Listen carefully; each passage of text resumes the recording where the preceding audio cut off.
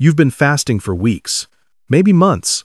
You skip breakfast, you watch the clock, you push through hunger, and you tell yourself this is what discipline looks like.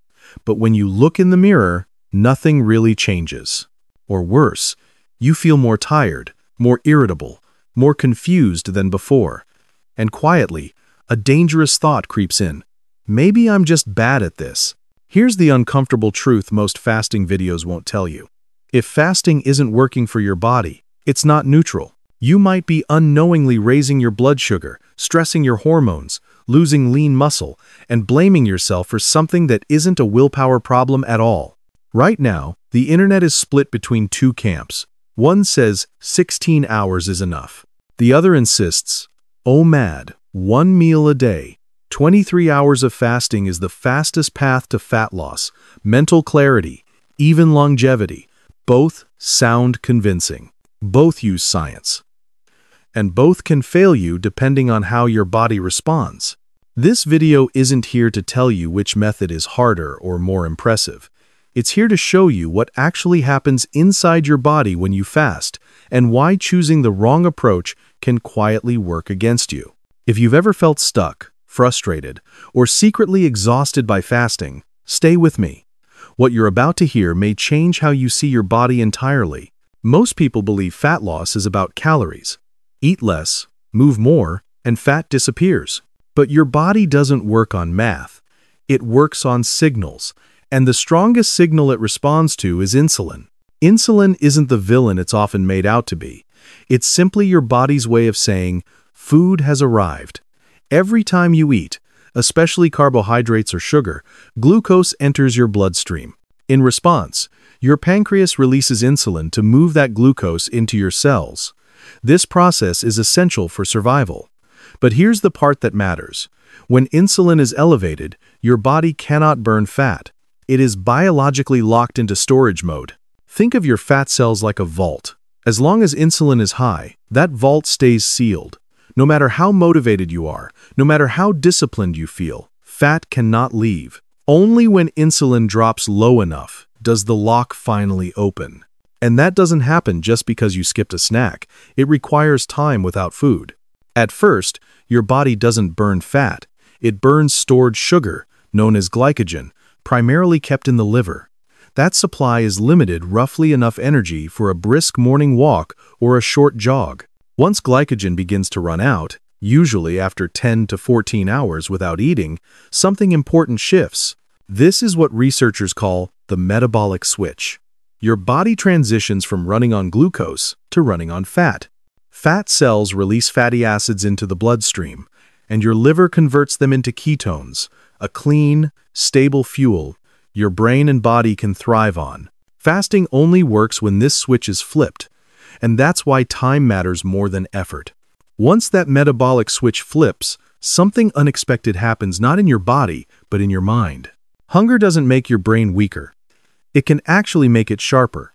When glucose runs low and ketones rise, your brain shifts to a more stable fuel source. Ketones don't spike and crash like sugar. They burn slowly, cleanly, and consistently. This is why many people report a sudden sense of clarity during deeper fasting. Thoughts feel quieter, focus lasts longer, mood feels more even. This isn't psychological hype, it's biology. During fasting, your brain increases the production of BDNF, brain-derived neurotrophic factor. Think of BDNF as fertilizer for your neurons. It supports memory, learning, emotional regulation, and the growth of new neural connections. From an evolutionary perspective, this makes perfect sense. Our ancestors often went long periods without food. If hunger made their minds foggy or panicked, they wouldn't survive. Instead, the human brain evolved to become more alert during scarcity. Fasting didn't slow us down. It tuned us in. But here's the detail most people miss.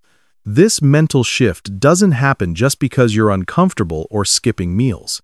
It only happens after your body has fully transitioned away from glucose and into fat and ketone metabolism. And that transition depends on how long insulin stays low, not how hard you try. This is where different fasting methods begin to separate. not by labels, but by how long your body actually stays in this state.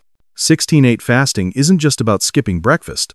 It's a daily biological rhythm, a quiet, repeatable pattern that allows your body to step out of storage mode and return to fat burning without shock, without extremes. After your last meal of the day, insulin remains elevated for several hours. During that time, your body prefers to burn glucose from your bloodstream and glycogen from your liver. But as the hours pass and food stays absent, insulin gradually falls. Around 10 to 14 hours in, the metabolic switch begins to turn. Fat cells unlock, fatty acids are released, and ketones start to rise. With a 16 to 8 schedule, most people spend 2 to 6 hours each day in this fat-burning, ketone-supported state. It may not sound dramatic, but this daily repetition is where the real power lies. Over time, insulin sensitivity improves, blood sugar becomes more stable. Your body gets better at switching fuels instead of clinging to sugar. Another misconception worth clearing up is muscle loss. Fasting does not automatically burn muscle. In fact, short daily fasts increase growth hormone, which helps preserve lean tissue while signaling the body to use fat for fuel. This is why many active adults and gym goers use 16 to 8 to reduce body fat while maintaining strength. And then there's real life. 16-8 fits into normal routines. Lunch at noon, dinner by 7 or 8, family meals stay intact, social life doesn't collapse. Sleep often improves because digestion isn't competing with rest hormones late at night. But 16 to 8 isn't perfect. If meals are heavy in sugar or ultra-processed foods, insulin may never drop low enough. And if overeating fills the entire eating window, the benefits quietly disappear. Fasting supports your biology. It doesn't override it. OMAD, one meal a day sounds simple. Fast for 23 hours, eat once, and let fat melt away. And in some ways, it does exactly what people promise. After such a long fast, glycogen is fully depleted, ketone levels rise high, fat burning becomes dominant. Many people feel sharp, focused, even euphoric once their brain adapts. But what rarely gets discussed is what happens when that fast ends. Breaking a 23-hour fast isn't just eating, it's a metabolic shock. You're asking your body to absorb nearly an entire day's calories, protein, fiber, and micronutrients in a very short window. And that creates a powerful insulin surge. After hours of near-zero insulin, your pancreas suddenly has to respond to a massive influx of glucose, amino acids, and fat. This swing from deep fasting to deep feeding creates what researchers describe as hormonal whiplash. In some people, morning blood sugar actually rises higher on OMAD than in those eating three meals a day. Not because OMAD fails, but because the body is still processing last night's meal. Digestive stress is another hidden cost. Bloating, reflux, disrupted sleep, and gut discomfort are common when the digestive system is overloaded all at once. Hitting adequate protein, potassium, magnesium, B vitamins, and fiber in one sitting is also surprisingly difficult.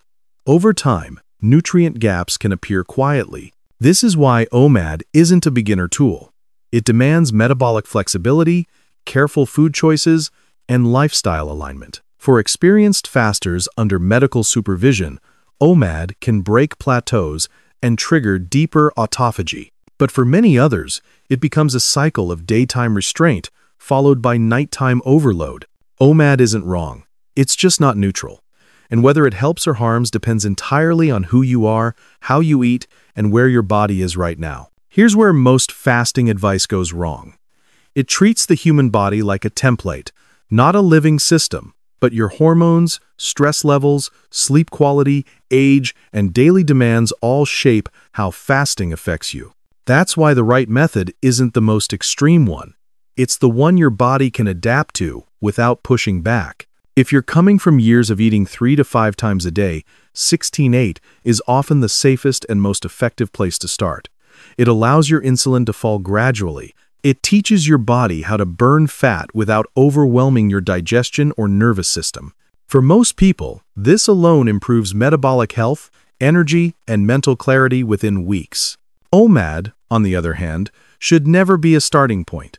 It's better suited for those who already have stable blood sugar, good metabolic flexibility, and experience with fasting. Even then, it works best as a targeted tool, not a daily lifestyle. Certain groups should avoid OMAD entirely pregnant or breastfeeding women, individuals with a history of disordered eating, those with low blood pressure, type 1 diabetes, or anyone taking medications that affect glucose regulation. Fasting isn't a test of toughness. It's a biological tool. Used at the wrong time, it can raise cortisol, disrupt sleep, and create cycles of fatigue and food obsession. Used wisely, it restores balance. The difference isn't discipline, it's alignment. Somewhere along the way, fasting turned into a competition.